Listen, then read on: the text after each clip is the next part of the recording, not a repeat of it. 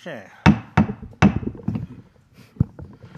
Uh, good afternoon, ladies and gentlemen. Welcome to the Foreign Correspondents Club of Japan.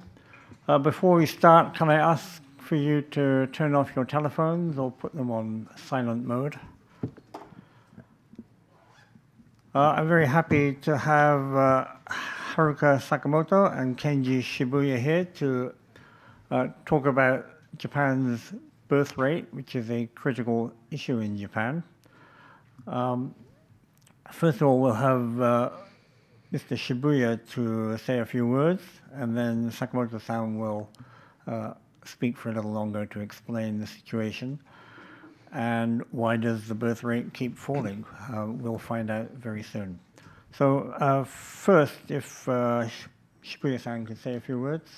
Thanks very much. Good afternoon, everyone. I'm Kenji Shibuya. I'm currently the research director at the Tokyo Foundation of Policy Research. And we have been working on different social issues, primarily focusing on the well-being of the people. And one of the research projects, which I am in charge, is working on different type of uh, issues related to social and health systems. One of which is obviously on the declining fertility rate. So now, as you know, the Kishida administration has announced a draft plan for unprecedented measures, unprecedented measures against declining birth rate. However, it remains uncertain whether this plan can effectively address critical situation of birth rates falling below 800,000 births per year with a record low fertility rate at 1.26 and whether they can transform society into one that ensures a comfortable living environment and guarantees a well-being for everyone. So, uh, as commonly discussed, it is is it due to changes in the value of young people, such as a decrease in romantic relationship or marriages, or the increase in social advancement and the higher education of women. So today, I would like to uh, I would like to ask Haruka to focus on more on the data-driven discussion rather than uh, preconceptions or bias so that we can have a more productive dialogue to um, propose uh, effective policies. So I stop here and the floor is yours. Okay, thank you very much. Um, so, uh, Sakamoto-san, please okay. go ahead. Yes. Hi everyone. Thank you very much for giving me opportunity today. My name is Haruka Sakamoto from the uh, I'm a senior fellow at the Tokyo Foundation for Policy Research. Thank you very much for joining us today. So the as the birth rate continues to drop to record lows year after year, the Kishida administration has been gaining momentum in its effort to address the declining birth rate. On the other hand, in order to implement truly meaningful intervention, it is really important to clarify the cause of the declining birth rate and to address the underlying issues. So since 2018, our team have been conducting several research related to the declining birth rate. So based on those findings, I'd like to discuss why the birth rate has declining to such an extent in Japan. So why has Japan's birth rate declined so much? Whenever I talk about this kind of issues, I'm, I am always told the value of the younger generation have changed. Young people do not necessarily see love and romance and marriage as a necessity in the midst of diversifying values, but rather than something bother and then hassle. Because of the diversification of entertainment, especially through the internet and SNS, people do not necessarily feel the need to fall in love. Or other misunderstandings are the number of children is declining because women are becoming more highly educated and entering into the workforce, or the poorer they are, the more children they have. These are the, some of the things that I often said, but do you think are these are all true? Our research team has analyzed the data from the National Institute of Population and Social Security Research which is under the Ministry of Health, Labor and Welfare here in Japan, on young people's relationship, marriage, and having children. And based on the these research findings, I'd like to show all of you how these sentences are all old-fashioned. First, the largest factor contributing to the declining birth rate in Japan is the increase in the number of unmarried people. The percentage of unmarried people at age of 50 was 2.6% for men and then 4.4% for women in 1998, while this figure increased to 23.4% for men and then 14% for women in 2015. On the right is the number of children born to married couples. In fact, the number of children born to a married couple has consistently remained around 2.0 since around 1970. Although gradual downward trend can be seen in recent years, the number of children born to married couples has still maintained at a level of close to 2.0. Considering that almost all children in Japan are born to married couple, it can be said that the largest factor behind the declining birth rate in Japan is the increase in the number of unmarried, unmarried people. Then let's take a look at who these growing number of unmarried people are. These figures are from another survey and show the percentage of men and women between the ages of 18 and 18 and 39 who are unmarried and not in a relationship. In 1992, 40% of men and 27%, 27.4% of women were unmarried and not in a relationship, while in 2015, more than 50% of men and then 40% of women are unmarried and not in a relationship. The graph on the right shows the percentage of each age group in the following categories. The first one, the dark blue is married, Light blue is never married but in a relationship, including the cohabitation and the de facto marriage. And then light blue is no partner but interested in a relationship. And dark, dark green is no partner and no interest in a relationship. So the upper dark green indicates those who are not in a relationship and are not interested in dating, while about 20% of men in particular are not in a relationship and they are not interested in a relationship. Also, on the previous slide, I mentioned that the number of unmarried people increased between 1980 and 2015. So, what are the attributes of this increase in never married people? There are three possible explanations. The first one is an increase in having a relationship, including cohabitation or de facto marriage. Second one is an increase in no partner but interest in the relationship. And the third one is no partner and no interest in the relationship. Our research indicates that the growing number of never married people are almost exclusively in the category of no partner and no interest in the relationship. So in Japan, it is often said that the number of people, some people are questioning the Japanese marriage system and then prefer to choosing de facto marriage over cohabitation instead of choosing the marriage, which may be the contributing to the declining birth rate. But in reality, the percentage of the cohabitation or de facto marriage has remained almost constant. Okay. Furthermore, we found that the majority of this growing number of people who are neither in a relationship nor interested in dating are men who are in unstable employment and have low incomes. The table below here shows the percentage of biannual income and relationship status. The leftmost group, the married group, showed that 6% of the respondents have an annual income of less than 1 million yen, while the 5.0% have an annual income of less, more than 8 million yen, indicating that those in the 3 to 5 million and 5 to 8 million are in the volume zone. But on the other hand, please see the uh, rightmost side.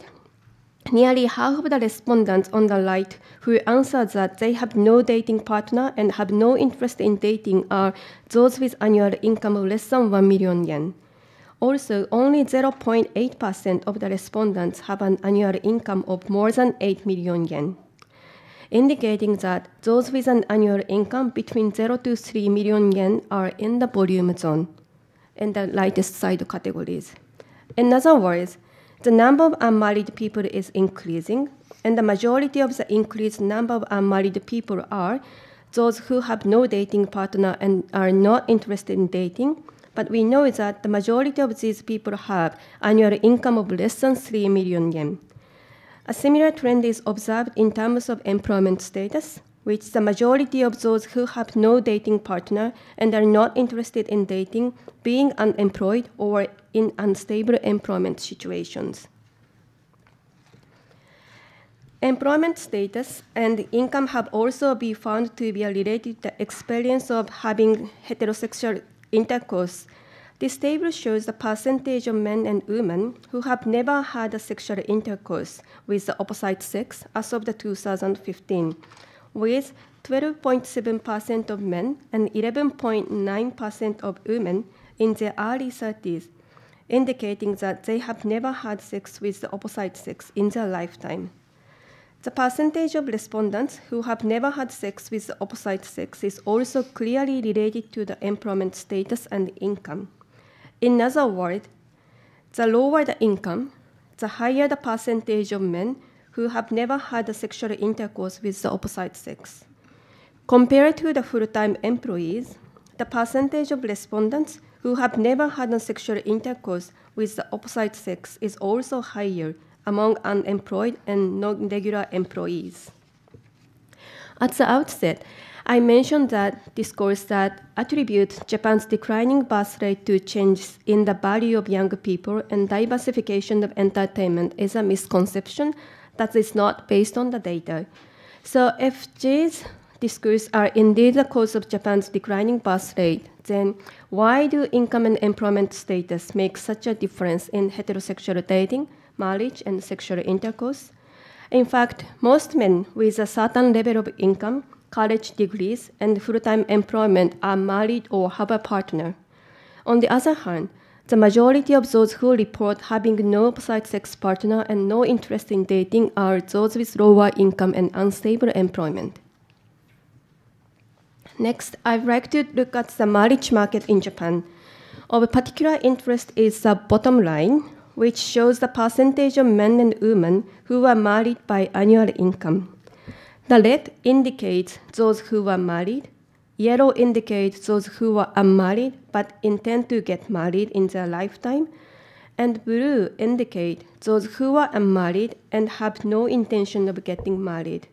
First, for men, you can see that the percentage of men in blue decreased and the percentage of men in red increased as their income increases, especially for the 25 to 39 age group in the middle and, and, and the 40 to 49 age group on the right.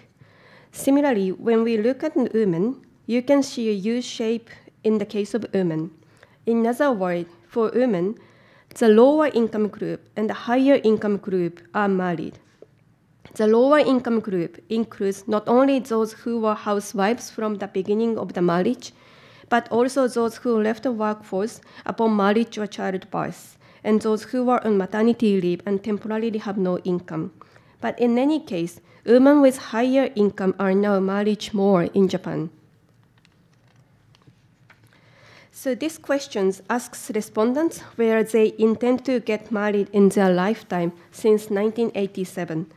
Despite various comments about diversification of entertainment among the young generation, in reality, from 1987 to 2015, about 90% of both men and women consistently answered that they had the intention to get married in their lifetime.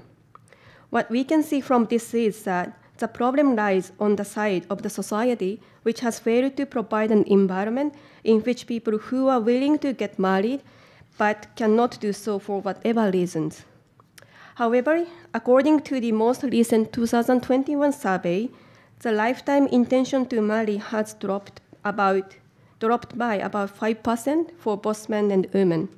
So it is important to note whether this figure is temporary due to the COVID-19 or whether it will become a continuing trend. But in any case, uh, between 1987 to 2015, almost 90% of both men and women have an intention to get married. But in reality, is that unmarried people have been increasing.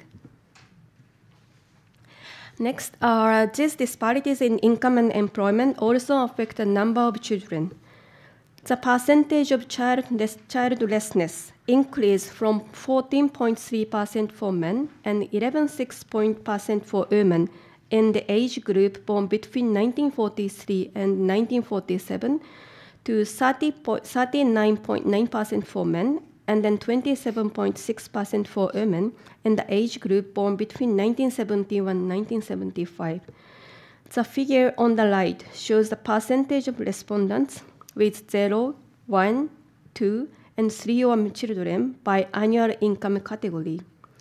The different colored vertical bars indicate the generation of births. In other words, the leftmost black bar indicates the birth cohort between 1943 and 1947, and the rightmost white bar indicates the birth cohort between 1971 and 1975. First, on the left is the percentage of children with zero. So visually, we can see that the percentage of children with zero is the highest for the older generation in the group with annual income from zero to less than 3 million Japanese yen. On the other hand, bottom one is those whose annual income is over 6 million Japanese yen, and we can see that percentage of zero children is lower than that of the top two. It has long been said in Japan that the poorer you are, the more children you have. But in fact, the higher the annual income, the greater the percentage of people who have children, regardless of which era they were born in after 1943.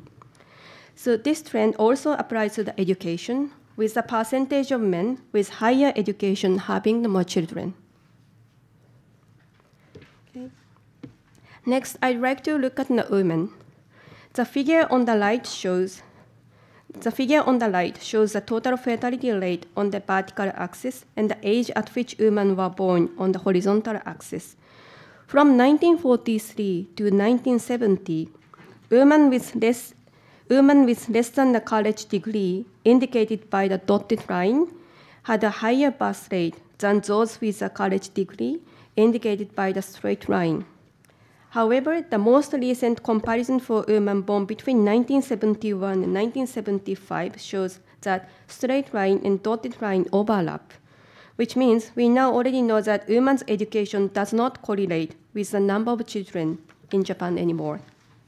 In some countries, such as Sweden, we are beginning to see a reversal.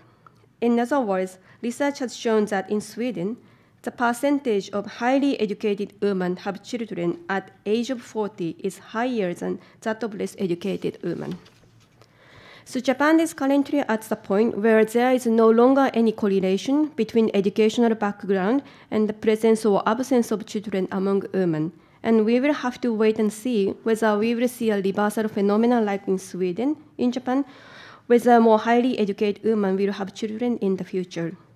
However, when combined with the fact that women with higher incomes are getting married more in the marriage activity market, as mentioned earlier in my presentation slide, it is clear that women's higher education and social advancement are not the main factor behind the declining birth rate in Japan.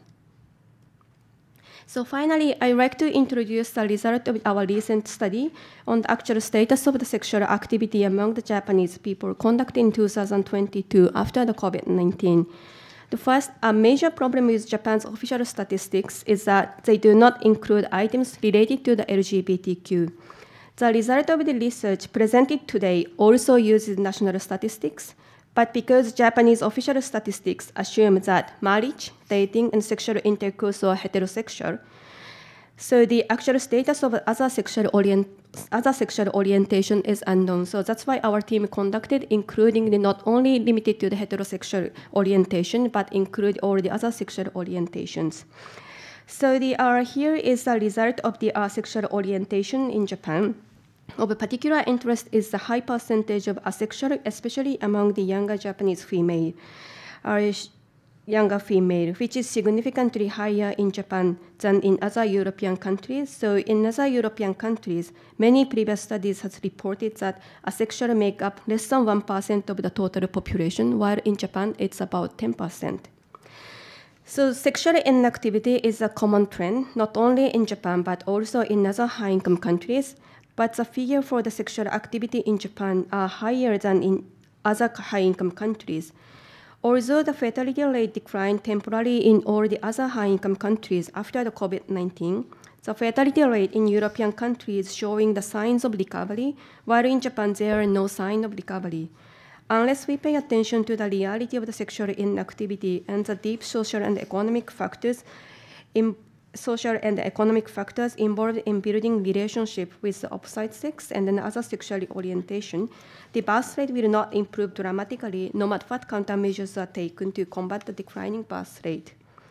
So in summary, the declining birth rate and the underlying increase in the number of unmarried people are not primarily due to the changes in the value of the younger generation, diversification of the entertainment, including the SNS, or more highly educated women. Rather, the real reason is that they were victims of the ice age or jobless age and the stagnation economy that followed, and were unable to marry or have children if they wanted to. The younger generation should not be considered the cause of the declining birth rate, but rather the victim of the stagnant economy in the society, and it is necessary to change the social structure rather than attributing the cause of the declining birth rate to individual responsibilities. So it will also it is also be necessary again to make the policies based on the data who are the married in the country or in the community and who has the children and who does not have the children by using the data set. Only when policies are formulated based on the such data and analysis, the, any countermeasures for the declining birth rate will be effective. So uh, uh, thank you very much for coming today, and I would like to conclude my presentation here, and I would like to take any questions and comment. Thank you. Okay, thank you very much. Um, I'm sure we'll have plenty of questions. Um, if you have a question uh, from the floor, please raise your hand, come to the microphone, state your name and affiliation, and keep your questions as short as possible. Um, first up, raise your hand if you want to ask a question. Okay.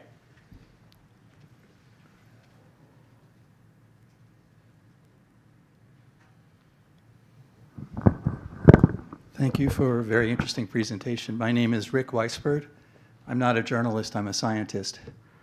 Um,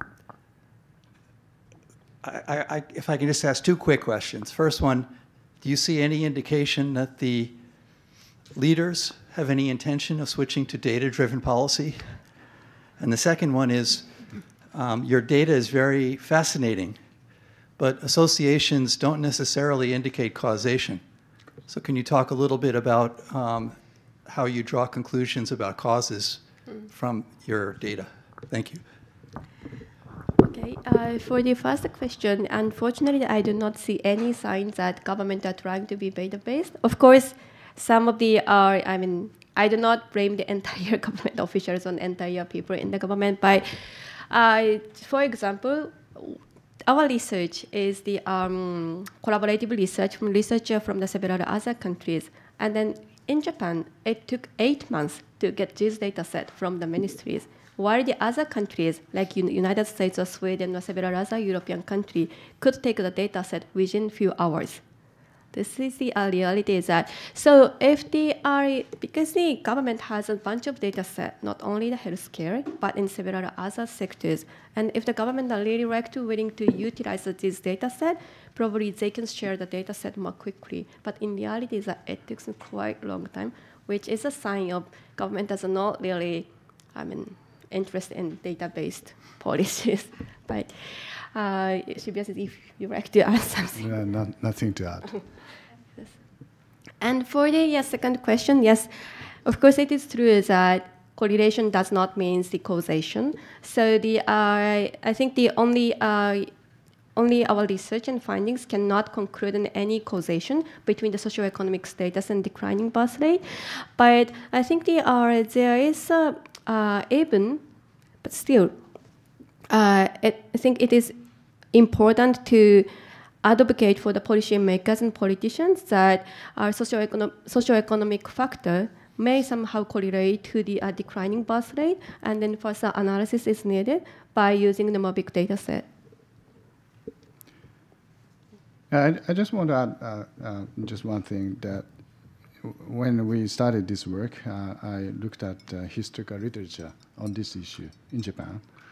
So I found some of the literature saying that there are major factors on declining fertility due to either marriage rate or the completed fertility, meaning average number of children per couple.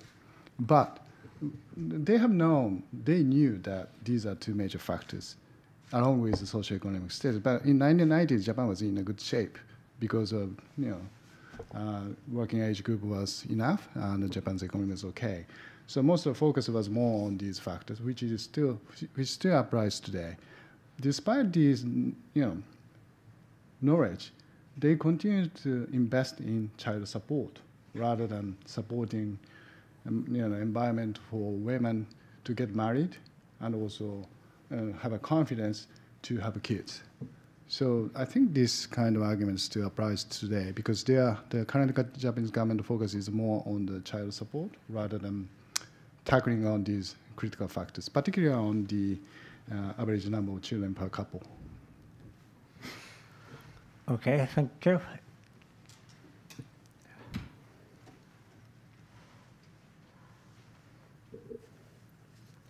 Hello, um, Ilgin Yorulmaz, uh, Turkish uh, BBC. Um, thank you for coming today and really interesting data there.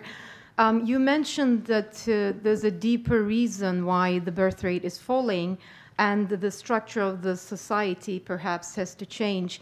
Um, I also want to elaborate why are women not, especially on women, if, if I may ask, why are women not getting married? Uh, why is the society failing to provide an environment conducive to marriage?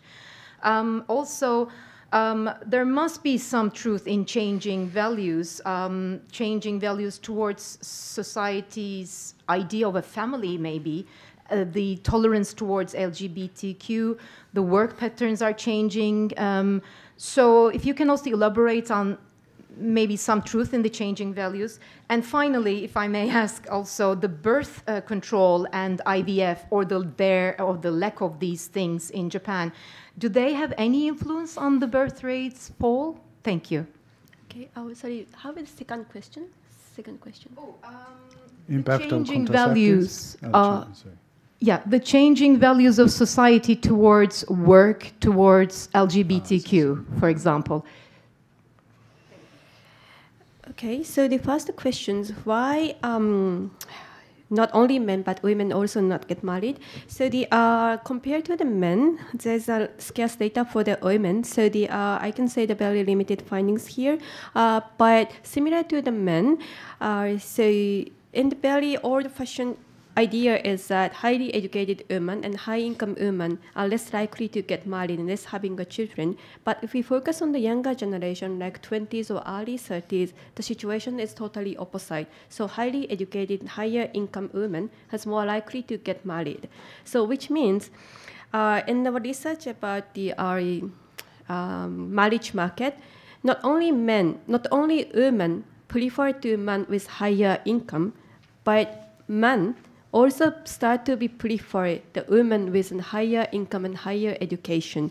So in the Showa era, which is the 30 or 50 years ago, only men work outside of the home, and then women stay at home and doing housekeeping issues and then child care. But if we look for the younger generation, 20s or early 30s, their uh, their value of the marriage or their value of the, I mean, home the value of the home is totally different, and both women and men work outside and share any house housekeeping issues or childcare work together between men and women. Uh, so uh, there is some kind of mismatch between the men and women. Uh, so uh, more women. So, but the fact is that highly educated, and high-income women are more likely to get married, and then the changes in the uh, social norm, especially for the LGBTQ. As said, in Japan, we do not have such data, I mean, official statistics. So uh, we cannot say anything about the how LGBTQ issues affect the declining birth rate. But we, I mean, our team uh, consistently encourage the government to include LGBTQ data so that way we can grasp the more exact data on the actual marriage and then relationship status. And then third point, yes, so the uh, IVF and then the several other child, uh, childbirth related issues are covered by the national insurance or many big policy changes in the recent years. So, of course, these uh, policy changes should be evaluated in a timely manner.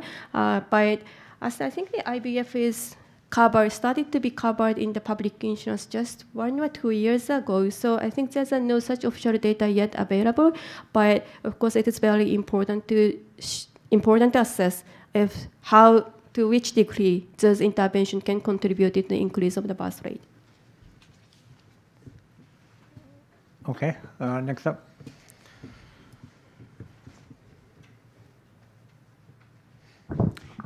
Nishimura with Hokkaido Shimbun. Thank you very much for the presentation.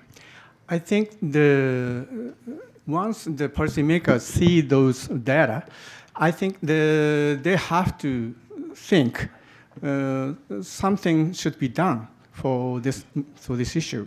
But uh, we are seeing the slow, very slow progress in this in terms of policy.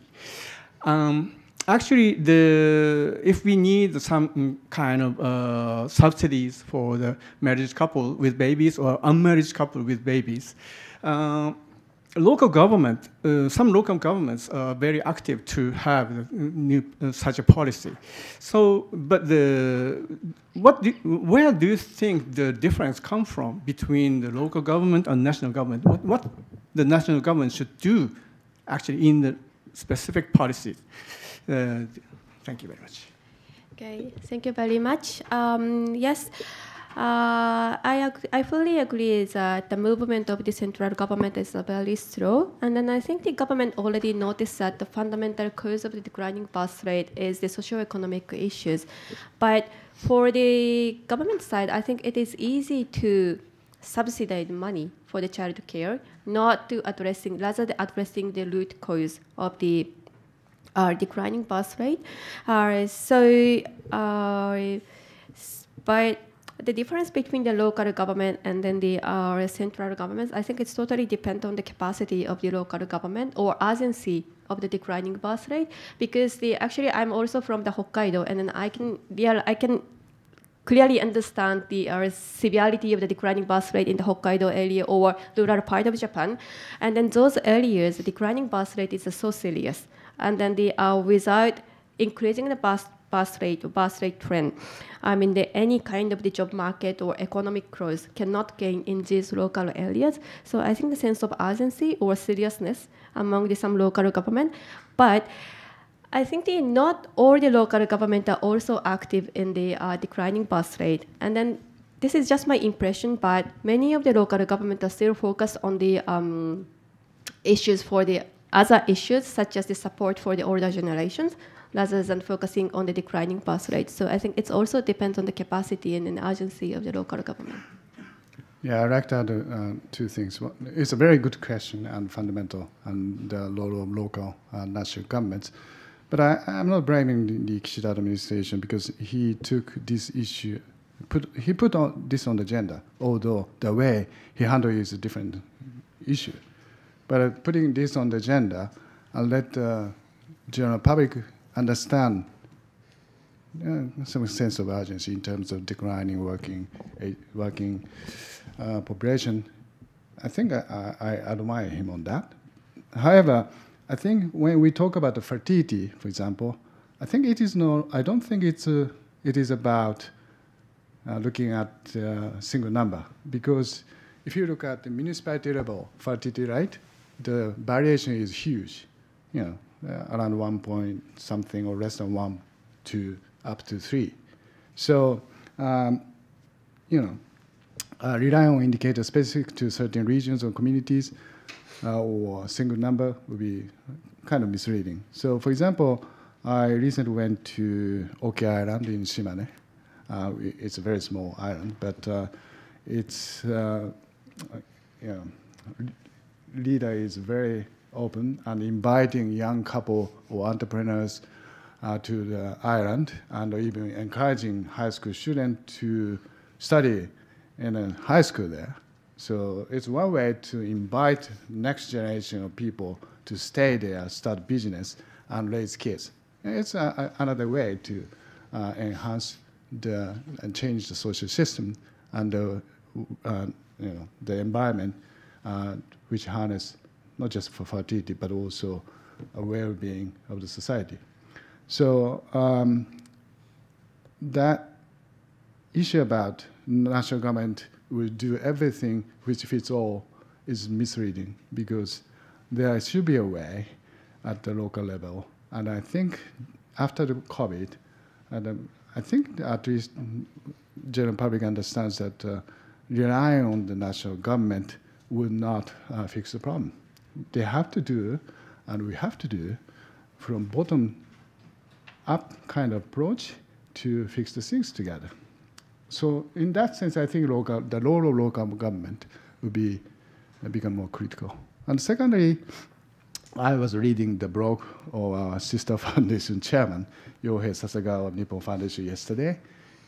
He rightly uh, stated that uh, above all, the greatest factor is the deep sense of uncertainty about what kind of society awaits us in the face of declining birth rates, where the future remains unclear. That applies not just uh, you know young women and men, but also all of us. So I think that on that, I think the government, particularly leadership of this country, has a very strong responsibility. Can I sort of ask a question related to that, or if you like, the opposite of that? And that's, to me, the, one of the fundamental questions is the cost of having a child. Okay, now I had a child through IVF. It cost, I can't remember, three or four million yen. And when I had the child, the hospital presented me a bill of 725,000 yen. And that was outrageous, I thought. Whereas, you know, I'm from England, so we're used to getting stuff for free. Um, but people look at those figures and think, I'm not going to have a baby. Does that reflect in what you found? Oh, yes. Uh, thank you very much. So for the another research shows that there is the gap between the number of children the couple wish to have and then also the number of children the couple actually have. And there is an always discrepancy between the uh, those ideal number and the actual number. And the main reason why couple does not have the actual number of the baby, the main reason is always an economic reasons. Yes. So they are, and also they are having a children is a not a one-time event. But so just in covering the IVF, of course, covering the IVF or covering the delivery cost or covering the nursing care cost is of course important. But having a children is a not one-time event for just a delivery, but it costs a lifelong event. So like they are covering the are not entire. I mean entire period of the child care, but our support not only for the delivery point, but also to support the higher age is also very important. And also more important is that I think they're very close to the Professor Shibuya's comment, but the young generation, young men and women, does not feel like uh, they can have the secure secure funding for their children because of the are not increase in their income year by year. And then also the, they are afraid of this pension system in the future. So they are afraid of having a children and then cannot feel like it isn't safe to have more children because of the economic reasons. Okay, and following up to that, of course, you have the cost of having the child in the first place. Mm-hmm. Then you have the, the cost of childcare. Mm-hmm. If you want to if you want to work, you have to pay to have someone look after your child in some places. Then there's education fees for mm-hmm. high school, junior high school, uh, universities, um, and, and, as you say, healthcare. The, these aren't new problems or new, new ideas, but the government doesn't seem to be doing anything. Um, so my question is, to what extent? So you just answered that question, I guess, that people think long term about how much a child will cost. But we've known this for ages, and why hasn't anything changed? I, I am not from the government. I do not know the reason why the government has not done anything. But, uh, but I think the uh, important point we should note is that I mean, support for the child care, including the financial support for child care, does not necessarily does not necessarily increase the number of children among the couple. So the support for the child care and then also support for the increasing birth rate is a totally different thing. So there are some countries, some other high-income countries, such as Nordic countries and South Korea, these countries provide a significant amount of money for the child care. But the reality is that the birth rate in the, those countries has been declining. So the just providing money for the supporting the child care does not necessarily increase in the birth of the child, does not necessarily uh, increase the birth rate. So the, uh, of course, I do not say that all the support for the child care are not meaningless for the increasing the birth rate, but we need to be very careful for the uh, what kind of countermeasures are important, especially are meaningful for the increasing the birth rate. Any questions from the floor? Thank you. Um, again, just following up to that, uh, you mentioned Korea, and Korea has the lowest uh, birth rate in the world. But also, curiously, so do Spain and Italy.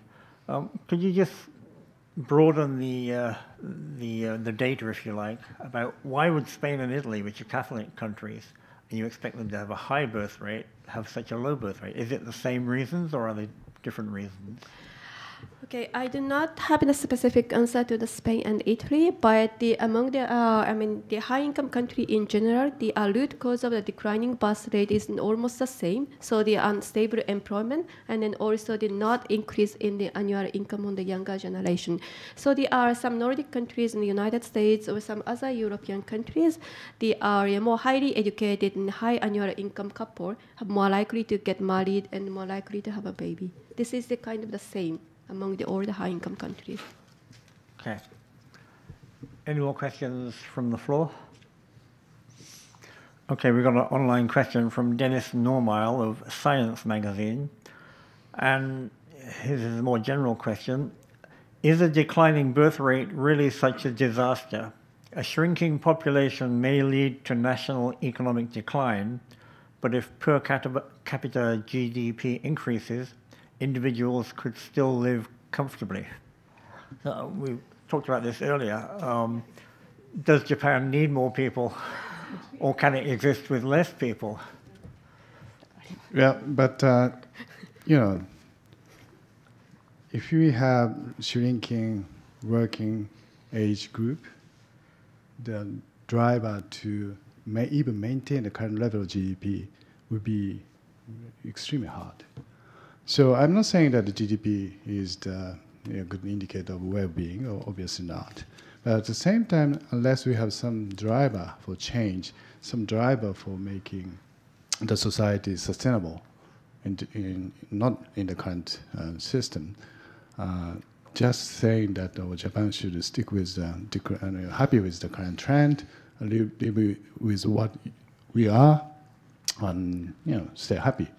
But I don't think that will happen because e- even with the kind of level of you know, working age group population, I don't think we can sustain the social system, social security, and the GDP, even you know fixing roads.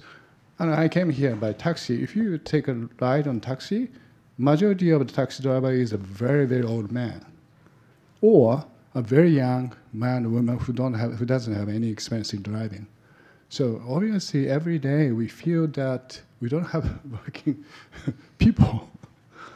So I'm not saying that you know making babies will fix the problem. I- I- there's no quick fix. Even if the birth rate were to increase, it would take at least 15 years. So uh, not just this uh, on this married couple inc- uh, increasing fertility, but we need to think about more on the increasing the number of people, either you know, it's controversial, but immigration or migration, and obviously we need to increase productivity per capita, including automation and you know, more efficiency of the system. So I, I know Dennis is always provocative. You know, he's working on science, but I, I don't think the idea of Japan to stick with the declining population and uh, happy with that. It's a, I don't think it's a, a happy uh, consequence. Any more questions here? Please.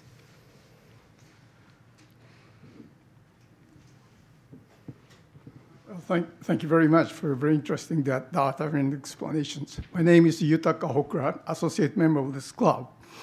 Well, I would like to have your opinion about the past. Why they got married and uh, they got many children? I would like to have your opinion about the past performances of our people.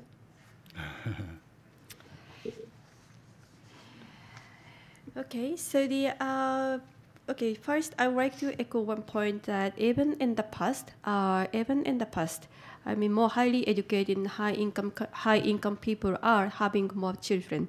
So the even if we look at the those who are already 70s and 80s, uh, if we focus on the, those age group, higher income people are more likely to have children. So the trend is the same in the past and also the current. But but still, in the uh, before the 30 to 40 years ago, uh, more people in the poorer household income uh, tend to have more children. So um, I think the uh, I mean this is the uh, general phenomena that society has been changing. I mean, the from the developing country, I mean, low and middle income, from the uh, changes from the low and middle income country to the high income countries. I think it is natural phenomena that the total fertility rate has been decreasing from the country's status as a low income country to the high income countries. So like the, uh, it is natural that the Japan has also the very high fertility rate and they are more than 70 or 80 years ago and naturally declining in the year by year. I mean, according to the Japan's economy growth. So the uh, I think this is just because the uh, changes of the society. I mean, value of the society, uh, society, and then the yes, but Yeah. But- So I like to add one thing. Around 1940, Japan's fertility rate was around four. You know, four. But Japan actually suppressed fertility after the war. In 1948, there was a eugenic protection law enacted, and the GHQ and Japanese government tried to suppress the fertility because you know, it's a speculation, but they want Japan not to fight war again so that the population can be controlled. So that really suppressed the fertility substantially. Since then, the fertility rate declined steadily, but the big reduction of fertility was after 1948. Okay, we have a question from uh, Richard Susilo of Tribune News Indonesia. Um, he says, You said the solution should be from the bottom. So, in reality, what is the best practice to increase the population in a simple and easy to understand way? I think there's a no simple and an easy way. If there's such one, I think the, every country or every community already does it. Uh, so I think there's a not simple way, but uh, yes, there's a no simple way. Give me an example. So fix a taxi problem, introduce, introduce Uber or automated driving, for example. Can you, can you apply that to birth, uh, giving birth? You can extrapolate my you know, comment to generalize. Well, but- uh, I I have a question, and simple question: uh, Why has sexual activity declined, or appeared, appears to have declined? You know, sex and casual sex. Uh, when I was young, it didn't seem to be that way. Yes, so the uh, again, sexual inactivity is a common phenomenon among the all the high-income countries, but Japan is the extraordinarily high uh, among the younger generation. But the previous our research indicates that the sexual inactivity is not the common phenomenon for the all men and women. So if we look at the men, those who have the graduate uh, college degree and then also annual income is more than 8 million Japanese yen, uh, they are not sexually inactive. Rather, they are sexually active. And then the percentage of sexually inactive has been increasing among the lower income groups or unstable employment status. Uh, and then also we do a recent study about the use of the sex workers in Japan, and the same trend has can be seen in the use of the sex workers. So the are among the sex, user of the sex workers, majority are the high income groups. And then the, um, if we look at the lower income groups, very few use the sex workers. So like the sexual inactivity is also related to the unstable employment and then also the uh, lower annual income, especially among the men. And maybe related to that, um, what has the influence of abortion and contraception been in terms of the birth rate? Um, I'm not. I am not an OBGYN specialist. So the uh, and then also the uh, there's no such uh, detailed data set about abortion in Japan. I think. Uh, so the uh, who I mean actually. I mean, I think the uh, only the age or some very limited information is available about abortion, where, where abortion happening and which age group abortion happening. But in terms of the socioeconomic status, uh, such as income and education, I think those data sets are not widely available and I'm not really sure. But I think the abortion rate has been decreasing in the recent years. I think. Yeah, previously Japan was a country of abortion, hidden abortion, uh, because of, as I said, eugenic protection law under the law, but uh, it hasn't been changed. So and the, I think um, illegal abortion has been declined substantially, and even the but still the availability of contraceptives is um, kind of limited, even though government is trying to um, you know relax the restriction, but uh, still the one of the fundamental rights of women is limited in terms of access to abor- uh, contraceptives. Okay. Ilgin?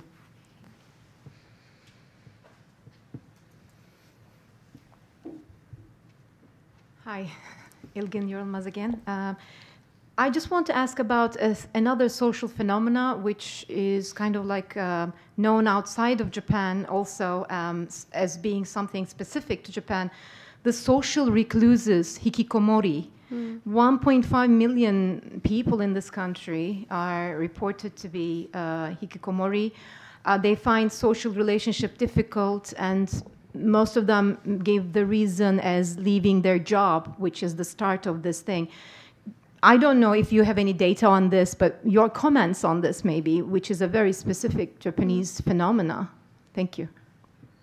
Yes, okay. So yeah, of course, I fully agree that hikikomori was social isolation. Uh, social isolation is a very important issue, not only younger generation but also the older generation.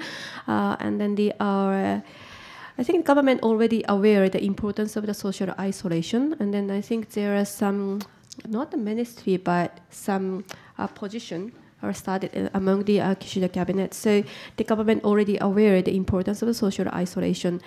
Uh, yes, so, but, um, and then of course the social isolation means there are no chance to uh, seeing the people outside and no chance to the getting someone to fall in love and someone to start in a deep relationship. And then of course the social isolation may somehow related to the declining birth rate. Uh, but also the at the same time i think the uh, detailed analysis is also needed. The who are the actually socially isolated? Who are actually in the home and then not going outside at all? And then i think it is not the um, issue in the specific group. I mean also the, this kind of issues or similar to the declining birth rate but similarly this kind of issue social isolation is also discussed based on the uh, old fashioned misunderstandings. And then there is no such data available at this moment, but uh, it would be very important to analyze the data first and then who are actually socially isolated. And should not be think about any intervention just based on the, I mean, uh, misunderstanding and old-fashioned concept. concept. So hikikomori is highly correlated with mental and environmental factors, which is also which are also correlated with socioeconomic status and employment status. So that is closely related to the issues which we are talking about today. And secondly, you know, like hikikomori, soshoku-kei, you know what it is, is also similar to uh, you know the issues which we are tackling. So we have a stereotyped view on these people, particularly young you know, soshoku-kei boys. But when Haruka did a study, it was actually more related to employment status or socioeconomic status or income or the uncertainty about the future, rather than um, changing characteristic or behavior. Drini?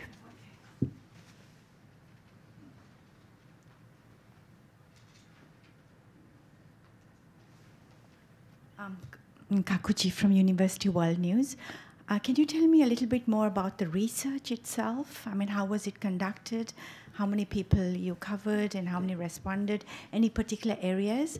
And also, you said that it's uh, that there should be more investment in women, in, in, in the development of women. So a little bit more. on Okay. that. Thank you very much. Our majority of the research finding I showed today is a data set uh, conducted by the Ministry of Health. So the um, under the Ministry of Health, there was the uh, National Institute related to the uh, uh, marriage and relationship of fertility issues, and then the population issues, and then the uh, that institute conducted a nationwide survey once in five years, and then this survey covers the uh, not entire population, but about. I'm sorry, I do not. I forgot the exact number of the participant, but I think it was about uh, 20,000 for married couple and then 20,000 for unmarried couple. And then they choose the sample from entire Japan and then the uh, yeah, from the already 47 prefectures, including the small islands. And then we also calculate and then analyze, uh, try to be our data set is nationally representative, not just for this specific part of Japan. So Shinke send you the literature, uh, yeah, published literature later. Okay, we have a couple of minutes left. Any more questions? Yeah, about investment for women. Okay. Uh, investment for women. Uh, the question is investment. How? For, for women's development, I think you mentioned that more than childcare, there should be more on investment for for society or for women's. Uh, you mean society has been changing, or? Uh, The, the kind of support uh-huh. that women would, Oh, yeah. so you are asking whether how you know the government should invest in uh, wi- women in terms of child care support to, to increase uh, fertility rate. Is that what you're asking? Okay. Okay, yes. Uh, I think it's the partially yes and then partially no, because the uh, partially yes means that, as the repeatedly said, that uh, support for the child to care does not necessarily increase the number of the birth rate. So the uh, I think the top priority is the address for the fundamental goods such as the socioeconomic issues related to the lower birth rate and unmarried couples. Uh, but as shown in the uh, my slide, uh, yes. In, in this slide, I said that in the Sweden and some Nordic countries, they are already showing the reversal between the uh, relationship between the education and the number of children women have. So the, in the Sweden and some other country, highly educated, higher higher income women has more likely to have children. And then I think this is because government invest, not government invest, but I think the society as a whole is more supportive for the women to having a children while keep uh, keep working. So the um, I think the uh, investing investment in the women is also contribute to some extent for the increase in the childbirth. Okay, thank you. No more questions? I have one final question. Um, and it's about immigration. Uh, it seems to me that the poorer countries in the world have the highest birth rates um, compared to Western countries and Japan. Uh, and yet, a lot of the poorer people are going to the Western countries, and in those countries, a lot of them have higher birth rates. Uh, is that something you found in Japan at all, or has it been studied in Japan? And is it an answer to the population problem? I think the uh, we we have the data about number of children, those who were I mean foreigners, those who were living in Japan. But I think the, those data sets are not fully analyzed yet. Yes, but I think the Professor Shibuya mentioned before. But I think we should need to discuss the, all the options, including the immigration and migration. Okay. Yeah, I understand you came from the UK and you have a re- real-time experience about increasing number of immigrants, right? So Well, I've been working in, Kor- in Japan, so my contribution is a one so far. okay. Okay, I want to thank uh, Shibuya-san and Sakamoto-san very much for their very informative uh, um, presentation today. And uh, please come again. Thank, Thank very you. much. Thank you. Thank you. Thank you, that was great.